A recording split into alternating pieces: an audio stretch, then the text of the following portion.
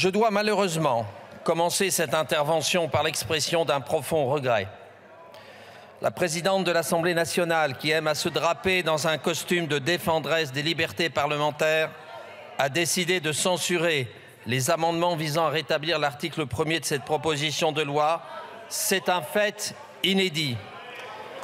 Il est loin le temps où la présidente de l'Assemblée nationale déclarait, c'était en décembre 2022, dans un entretien à la Voix du Nord, je cite, Je considère qu'il faut débattre sur le fond et qu'il ne faut pas utiliser des techniques procédurales d'obstruction pour éviter finalement le débat. C'est la première fois c'est la première fois dans l'histoire de la Ve République qu'une présidente de l'Assemblée nationale écarte des amendements reprenant une disposition déclarée deux fois recevable, une première fois par le bureau de l'Assemblée nationale lors du dépôt et une seconde fois par le président de la commission des finances.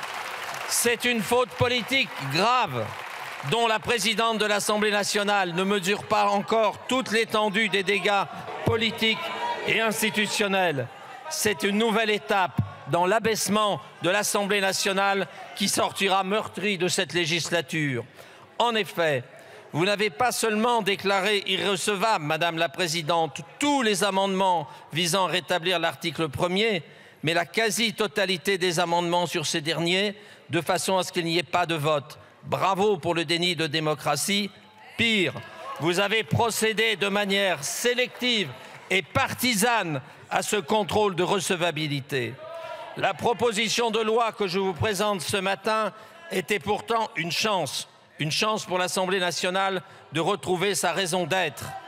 Soutenue par de nombreux parlementaires issus des six groupes de l'opposition, la proposition de loi portée par notre groupe visait à supprimer le tristement célèbre article 7 du projet de loi de financement rectificatif de la sécurité sociale pour 2023, devenu article 10. Trois raisons justifiaient, selon nous, la suppression de cet article qui repousse l'âge d'ouverture des droits à la retraite à 64 ans. Une première raison de justice sociale. Où est la justice? Lorsque l'on fait reposer les fameux 17,7 milliards d'économies d'ici 2030 sur le dos de nos concitoyens les plus modestes et sur les femmes Je remarque d'ailleurs je remarque d'ailleurs que plus personne dans la minorité présidentielle n'ose parler de la justice de cette réforme, contrairement aux éléments de langage qui avaient été développés depuis janvier dernier. La seconde raison est que cette réforme n'assure même pas un équilibre durable des comptes des régimes de base de retraite. En 2022, la situation de ces derrières n'est d'ailleurs pas si catastrophique. Le premier projet de loi d'approbation des comptes de la sécurité sociale pour 2022 estimait le déficit de la branche vieillesse, y compris le Fonds de solidarité vieillesse, à 2,5 milliards d'euros, soit 1% des dépenses. Ce léger déficit est loin des abîmes budgétaires qui accablent notre pays. À titre de comparaison, la branche maladie est en déficit de 21 milliards, ce qui représente près de 10% des dépenses engagées par cette branche. Quant au budget de l'État, c'est plus catastrophique encore, puisqu'il s'établit à 151,4 milliards d'euros en 2022, soit près de 30% des dépenses. Vous parlez d'irresponsabilité, mais c'est vous les irresponsables. Et pourtant, même, même en faisant cela, vous ratez votre cible, comme le relève la Cour des comptes dans son dernier rapport d'application des lois de financement de la sécurité sociale. Votre réforme consisterait suprême paradoxe, un surcoût en 2024. Vous criez au mensonge, mais c'est vous qui mentez aux Français. Vous mentionnez 17,7 milliards d'économies, mais vous omettez de mentionner l'impact budgétaire de la réforme sur les autres branches et les autres politiques sociales. Certes, ce n'est pas sur cette section que cette question que les documents du gouvernement sont les plus disserts.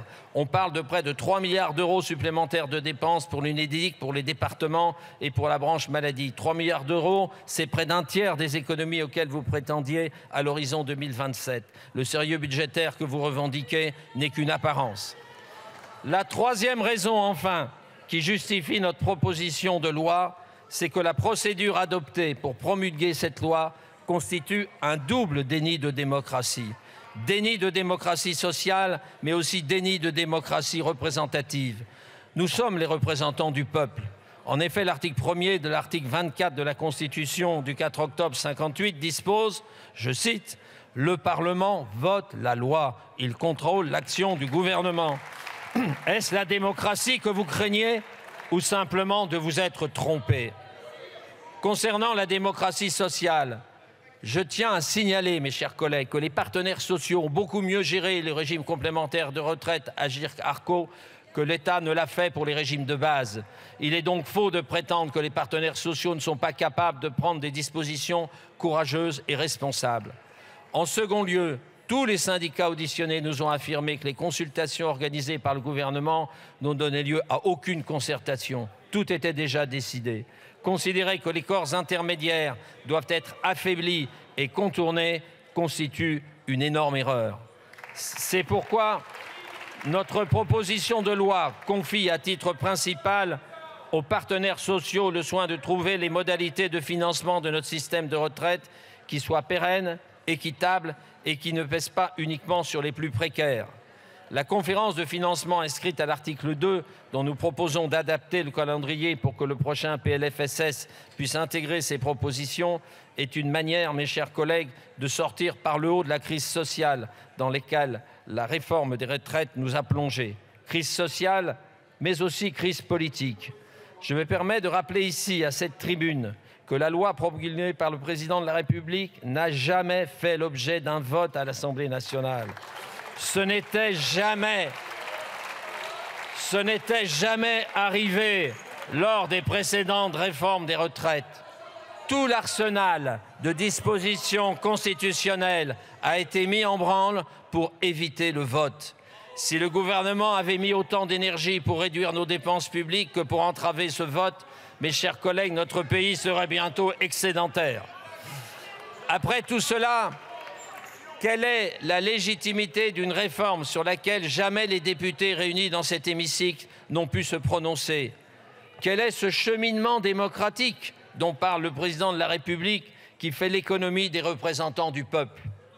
D'autres pistes pouvaient pourtant être poursuivies.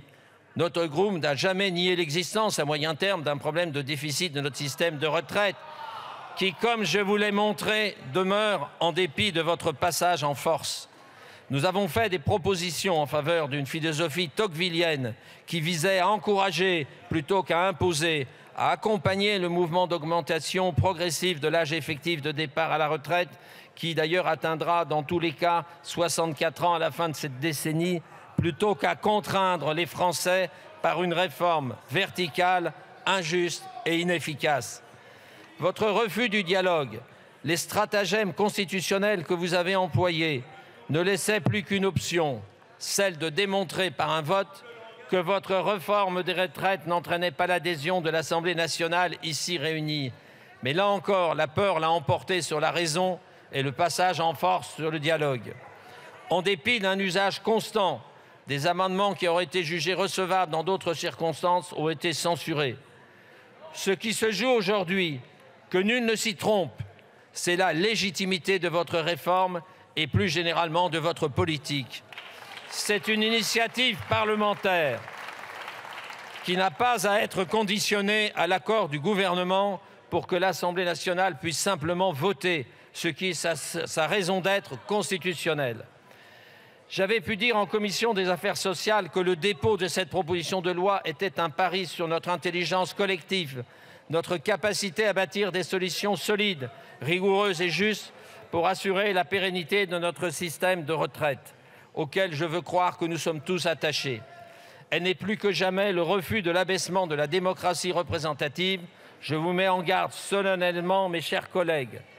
Nous ne sommes que de passage ici et que de cet abaissement du Parlement ne peut ressortir que désintérêt pour nos institutions et, dans le pire des cas, colère et violence. Je vous remercie, monsieur le rapporteur. La parole